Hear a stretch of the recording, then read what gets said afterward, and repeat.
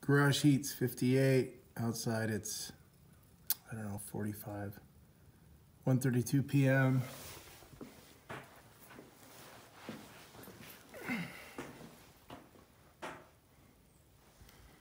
I haven't ridden this thing in a week, week and a half. It's all done. I think it's ready. My friend's making a battery box. Uh, gas in it, it's cold, it hasn't been run. There's an old plate. I've got insurance on it, but anyway, let's see.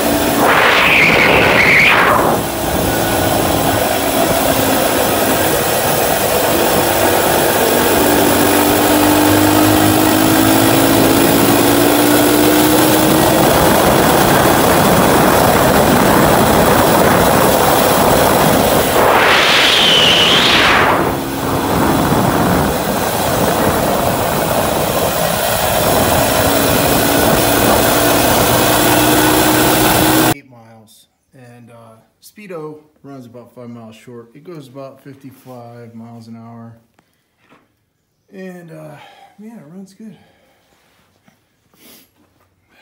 Nice bike